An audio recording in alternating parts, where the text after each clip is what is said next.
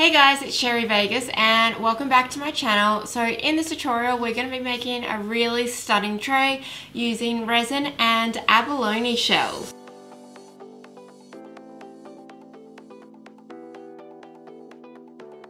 So this is the tray that we're going to be making in this tutorial and it's got the abalone shells encrusted in the resin and I feel like it is absolutely stunning. I'm really happy with how this turned out.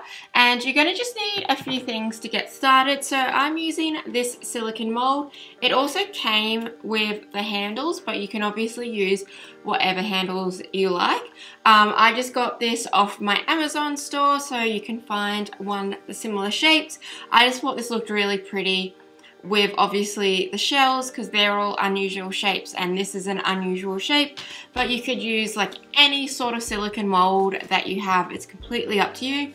And then I also just bought abalone chips um, also through my Amazon store. So feel free to jump on if you want to purchase these items.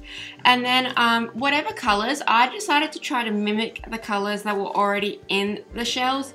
So I went for a violet pearl color um, a shimmery green, a shimmery purple, and a black that was like also a shimmery black. So everything very sparkly. And then I also did use a sparkly top coat completely up to you. If you obviously get like lighter colored shells, you could maybe go the opposite end of the spectrum and go for all really light shimmery colors. But the abalone shells I got were all like had the black running through and quite dark. So that's why I decided to go for a darker color palette.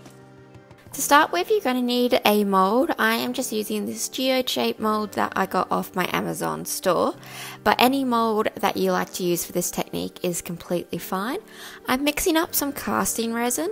So this is the casting resin from Make Art Resin, which is a Gold Coast based brand, and it's called their Crystal Cast. It's a 2 to 1 ratio resin, which means it's perfect for casting. It's got a really thin viscosity, so it's going to get a lot less bubbles than if you were to use your general epoxy based resin. And you just need to mix it for about two to three minutes once you have poured it up to get it ready to add your pigment into it.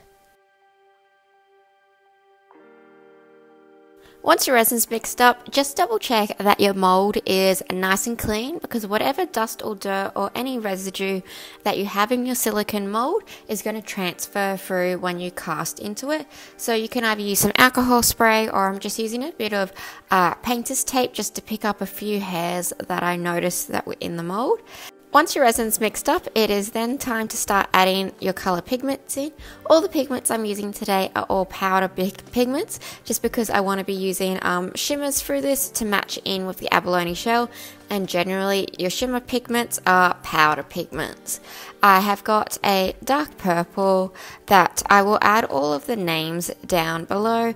I've got a black shimmer pigment which is from Artie Sue and it's no longer available got this lime green one, and I've also got this iridescent uh, pearly white pigment that's like a duochrome from Pearl Effects.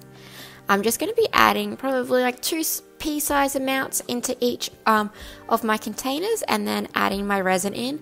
I am mixing up more of my white and my black um, instead of my purple and my green because I just want my purple and my green to kind of be accent colors and I want the majority of this pour to be my black and my white.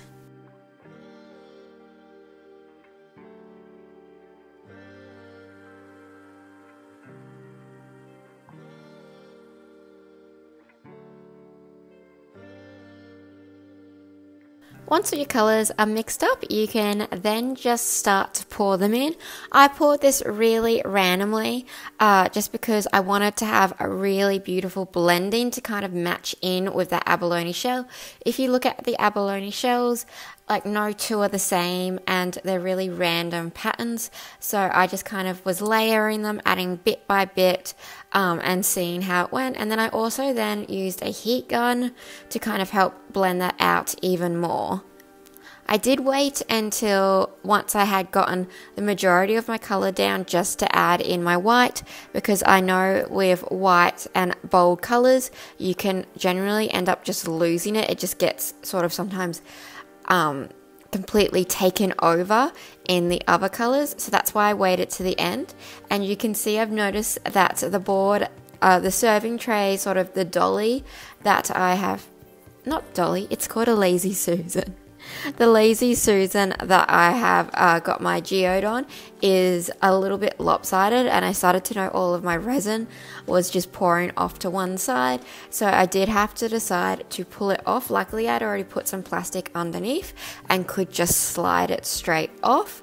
But yeah, probably best when you're doing any sort of pouring to just double check to make sure your surface is 100% level because otherwise you'll get what I had where everything was going off to the one side.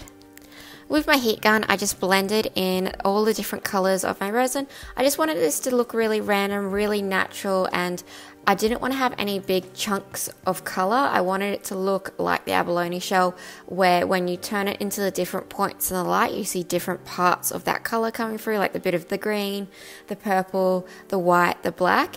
So the heat gun was really helpful for this just to blow it around and it also got rid of any bubbles that might be in my casting resin. I did put this on a really low heat.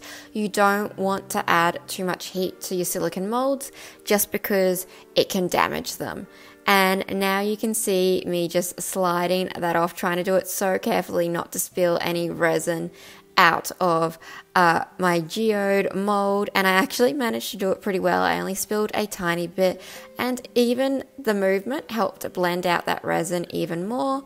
I shouldn't have put it on um, my Lazy Susan in the first place because it wasn't 100% even.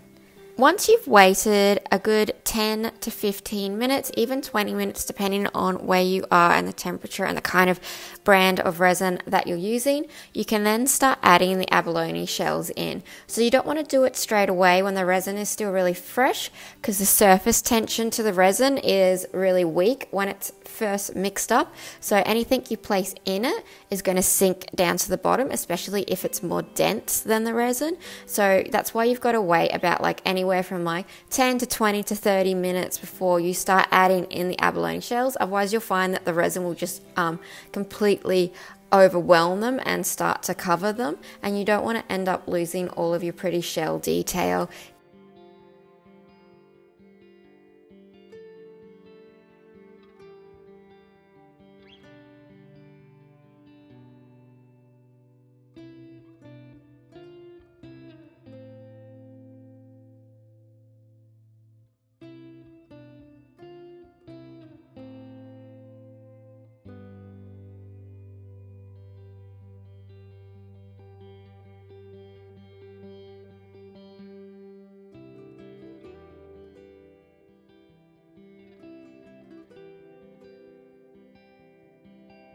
Once you're happy with the placement of all your shells, you can then go and place your handles in.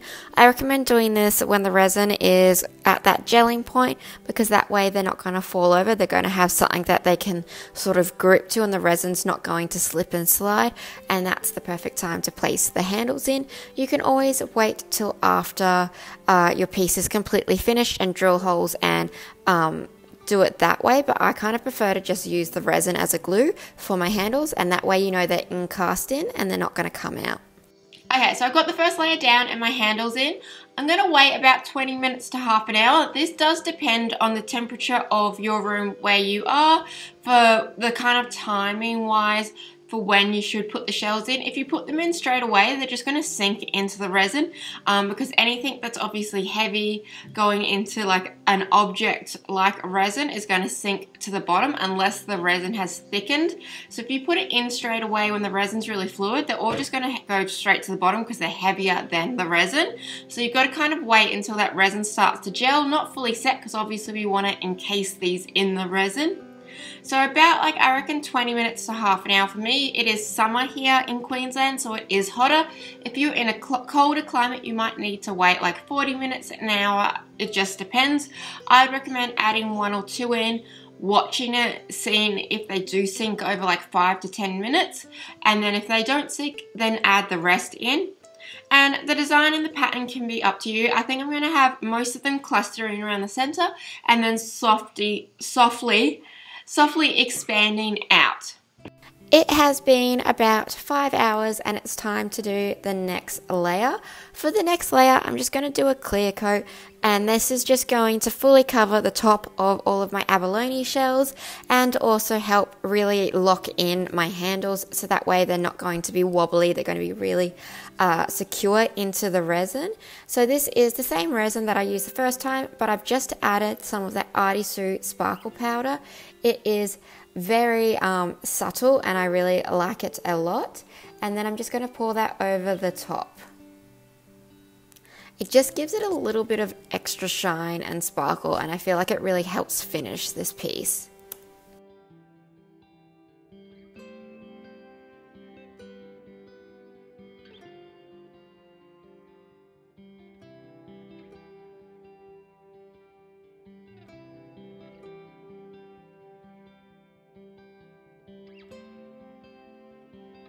I'm really happy with how it's looking. It's so beautiful and the resin colors that I chose I feel like work really well with the abalone shell.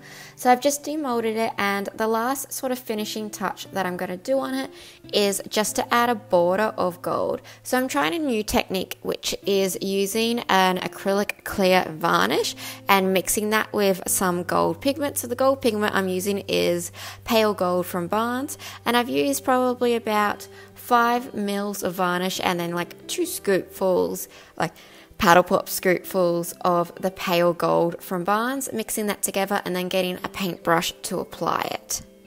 The type of varnish I'm using is a bit smelly. Um, it had quite a strong odor to it, and I'll add a link below to it.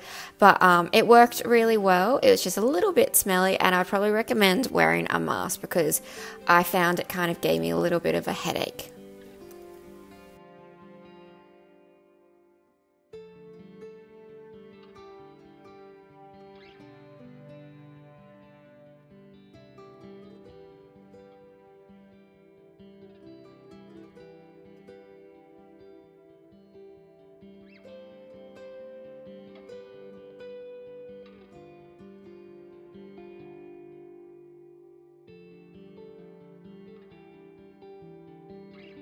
I want to know your thoughts in the comments below. What did you think of this tutorial putting abalone shell chips into resin to create a serving board?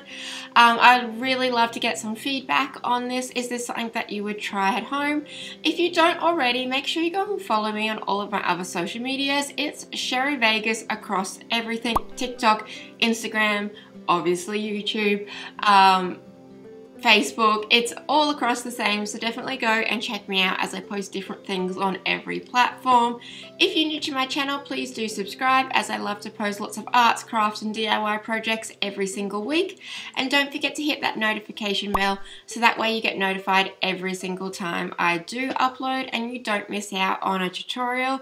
And if you ever have any ideas or anything you want me to try out, don't forget to leave it in the comments below. I'm always open to new ideas.